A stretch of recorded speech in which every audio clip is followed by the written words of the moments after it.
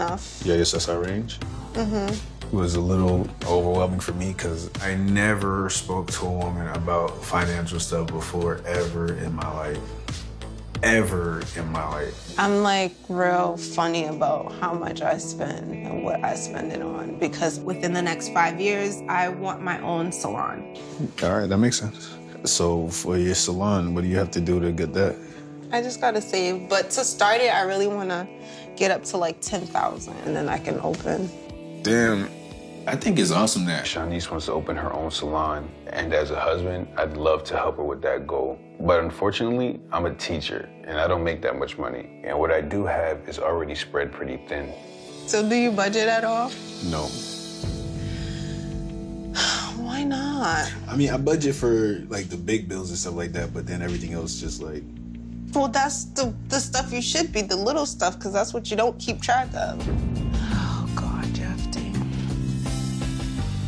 If we're gonna be together as a unit, then I gotta make sure we're on the same track.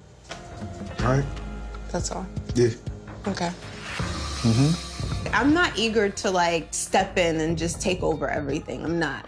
I'm more eager to step in and just make sure that I'm comfortable in our household. Because at the end of the day, love is more important to me than any financial issue. So it's just us easing into it, and I'm just trying to get him to trust me. Come on, time to go to sleep. Time to go to bed. Yeah. You're sleeping on the floor. Yeah.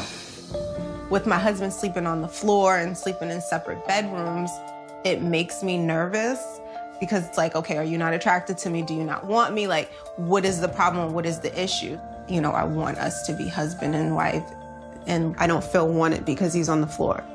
Good night. You know. Leave me alone.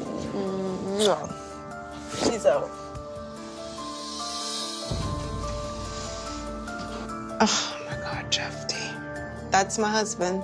He sleeps on the floor. It doesn't make sense for me. This is not what I imagined things would be like.